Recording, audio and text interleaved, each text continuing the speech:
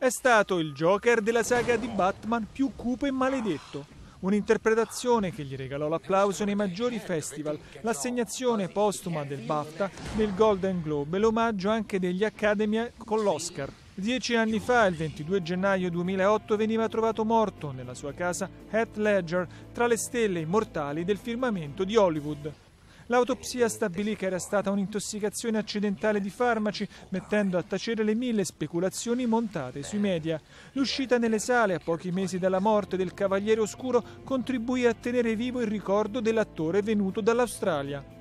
Con lo scorrere del tempo il mito e l'attore si sono sovrapposti. Heath Ledger in neanche dieci anni di carriera era riuscito a passare dalle prime prove davanti alla cinepresa al successo planetario, dando vita a personaggi intensi che ne hanno esaltato l'eclettismo interpretativo. Oltre alla maschera di Joker, Ledger si è impresso nella memoria del pubblico per il ruolo di Ennis Del Mar, protagonista dei segreti di Brokeback Mountain, accanto a Jake Gyllenhaal. La tormentata storia d'amore tra due cowboy sullo sfondo dello sterminato Wyoming farà incetta di premi, compreso il Leone d'Oro a Venezia 2005.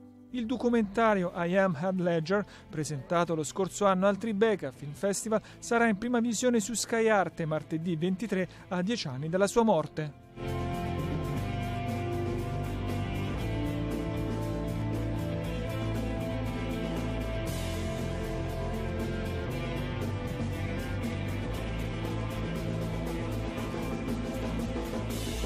Hello.